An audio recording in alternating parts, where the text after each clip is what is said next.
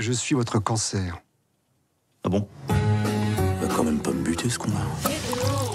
Je vois pas ce qui s'oppose.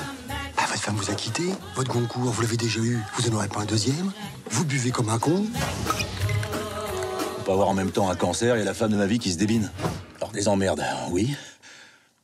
Mais pas toutes les emmerdes. Je suis un écrivain célèbre. C'est pas un petit merdeux avec une tête de furoncle qui va m'envoyer dans le sapin.